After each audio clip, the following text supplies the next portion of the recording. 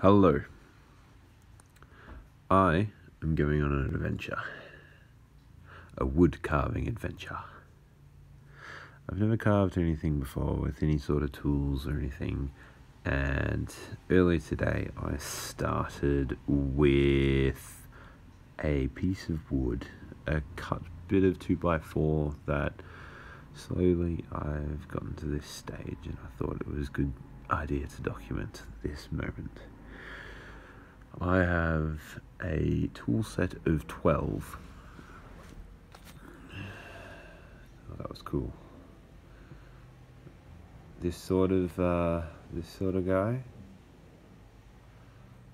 So that's a straight, but uh, on a 45.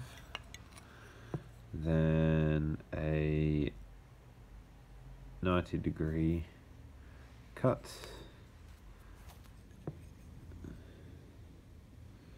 A small circular, a medium, and a large circular.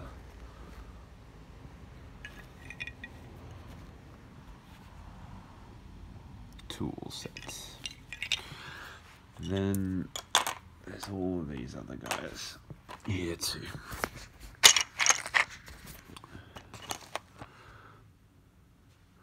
There's uh, quite the variety.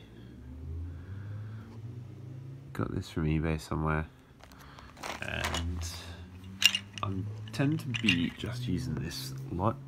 Started out with just the big circular sort of carver, whatever you call them. I'm just going to call them that now. And here I am. So I've sort of got some sort of proportions going. Uh, any guesses of what this going to be would be a good one. Sort of got proportions.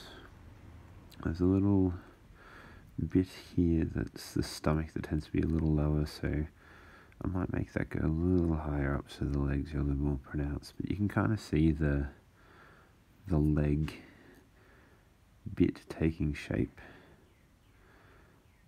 And then there's a bit of tail, so I'm going to do that last because it's a bit fragile, I reckon.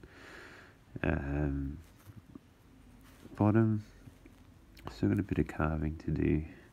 I'm really only focusing on this leg at the moment to get it pretty good.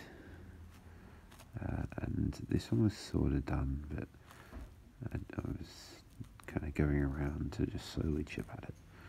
Um, the face is going to be a fun one, so I still have it flat at the top here.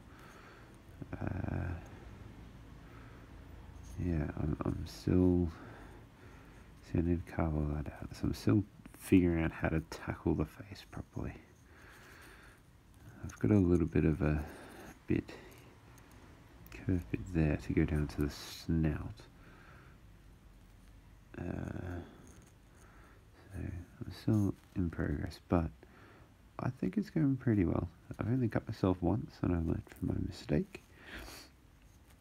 And that was a valuable mistake and only a little bit of blood was drawn. And